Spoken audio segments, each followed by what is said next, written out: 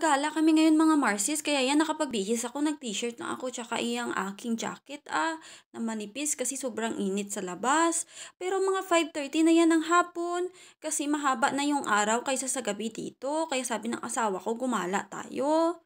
Tapos ako naman, tudo tanong kung saan kami gagala. Sabi niya sa akin, mag-road trip nga tayo. Baw, dumapitla na naman ako sa road trip. Tingnan nyo naman yung tawag dito, oh, yung araw. Napakaliwanag. Tapos tingnan nyo naman, oh, marami ding nagbabike dyan. Pero dalawa lang yung nabidyohan ko eh, kasi yun lang naman ang nakita ko una mo, kaya yun lang binidyohan ko ah. Yan, nakarating na tayo dito sa aming destinasyon. Aba, may tubig pala, pero sabi ng asawa ko road trip daw. Naglibog man ang akon nga uto kasi sabi ng asawa ko road trip bakit may dagat. Aba kumuha na siya agad ng ticket papunta doon sa may Bulgaria kasi may part doon ng Romania. Nagbayad kami ng 70 lei kasi may sasakyan kaming dala pero pag wala kayong sasakyan na dala, pag sumakay kayo sa pambot, syempre mura lang. Tapos may kasabayan din kaming mga Ukrainian siguro magbabakasyon sila sa may Bulgaria. Tapos nakasakay na tayo dyan sa pambot. Yung biyahe mula sa aming city papunta sa Bulgaria is nasa 5 minutes lang kasi sobrang lapit. Dagat lang talaga yung pagitan. Tapos yung aso na yan, kaibigan niya ng asawa ko kasi kinakausap niya, mahilig talaga to sa aso. Tapos yung mga tao na nakikita nyo, sasakayan sila sa susunod na biyahe. Tsaka yung iba dyan is naghihintay sa mga pamilya nila. Tsaka pwede ka rin diyang sumakay papunta doon sa Bulgaria para hindi ka na maglakad. Pero yung iba syempre naglalakad para sumeksi kasi malapit na dito yung summer kaya dapat sexy ka. Yung nasa unahan natin na sasakyan is Ukrainian yung may-ari niyan. Kasi malalaman mo sa kanilang plate number. Kasi may nakalagay dyan na flag ng kanilang country, abbreviation ng country nila. Kaya ma-identify mo kung saan talaga sila galing. Tapos yan, yung nakikita nyong building is border na yan ng Bulgaria. Kaso hindi tayo pupunta dyan kasi hindi pa ako nakapag-change status. Kailangan ko muna magpa-change status para yung ID ko is same na ng apelyido ng asawa ko. On the process pa lang kasi yung aming papers. Kaya for now, dito lang muna kami pupunta kasi before nakapunta na dito yung aking asawa. Tapos may nakita kaming lake na sa border ba ng Romania tsaka Bulgaria. Siyempre, very adventurous itong asawa ko. Kaya sabi niya sa akin, puntahan natin para makapag-picture ka doon kasi feelingera ka naman. Ah, grabe talaga tong asawa ko. Ah, wala prino iya ba sa paghambal sa iyang gwapang asawa eh. Char lang.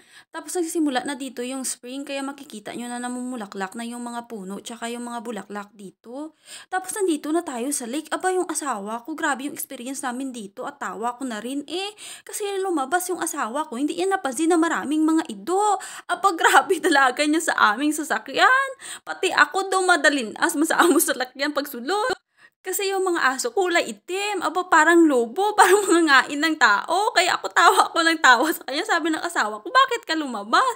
Kasi sabi ko sa kanya, mag-feeling sana ako mag-picture. Ay, paano ako mag-feeling? Kasi may aso na tumatakbo sa akin. Ganyan yung itsura ng village dito. Oh, mga matatanda yung mga tumitira dyan kadalasan. Tapos matadaanan din natin yung isang magandang orthodox na simbahan dito. Sobrang laki at sobrang lawak ng lugar na ito tsaka may sementeryo doon sa loob. 7 na kasi ng gabi kaya sarado na pero pag umaga open yan. Tsaka hindi maganda yung panahon, parang uulan. Sabi nga ng asawa ko hindi talaga nakikisama to. Sabi ko naman sa kanya hindi kasi nakaplano tong alis natin.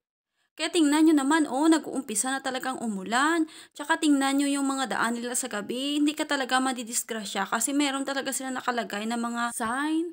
Tapos dumaan kami dito sa may Michidio. Tingnan nyo naman yung bridge nila. Oo, may nakalagay na mga ibang kulay. Kaya very attractive talaga sa gabi.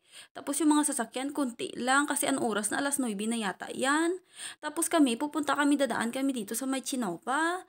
Di ko alam kung tama yung pagkakapronounce ko, pero makikita nyo na merong flag yan ng Ukraine, yung kanilang bridge. Yung kulay ba?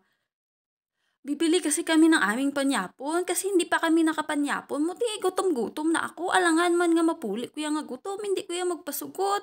Kay wala kami daan yung pagkaon. Hindi ako yung nagluto. Kaya bahala dyan asawa ko. Ah, maubos yung ganyang gas. Ah, importante makabili kami ng pagkain. Ah. Hanggang ngayon, hindi pa rin ako makamove on doon sa maido. Grabe talaga yung tawa ko, tsaka takbo ng asawa ko. Kaladlawan, gitsaya mo. Kaso hindi ko kasi na nabidyoan kasi unprepared nga ako. Hindi ko na binidyohan yung binili naming pagkain kasi nga sobrang gutom ko kasi unprepared nga ako. Hindi ako kumain sa bahay namin. Pati pagkain ng asawa ko kinain ko ah. Sabi niya sa akin, dalok-dalok ka, may party ka, naging kao mo pa yung party ko. Tapos bago ka magwa, diri mag-exit ka, kinahanglan nga magbayad tayo ng 13 lei kasi para siyang islex or NLEX. Tapos sa dulo niyan, merong pulis. Akala ko traffic enforcer. Kasi yung kanilang uniform ba, nag-idlak-idlak ang jacket. Ganun pala dito para daw madali mong ma-identify na merong pulis doon sa dulo kasi nga naidlak-idlak. Tapos nandito na tayo sa aming apartment. Kararating lang namin parang 11 na yata to ng gabi. Pagod na pagod tong asawa ko kasi ang haba ng biyahe namin. Kaya sinabihan niya ako na itapon mo doon yung basura natin. Kasi pati yung pagkain ko kinain mo din. Kaya sabi ko, ano problem ah?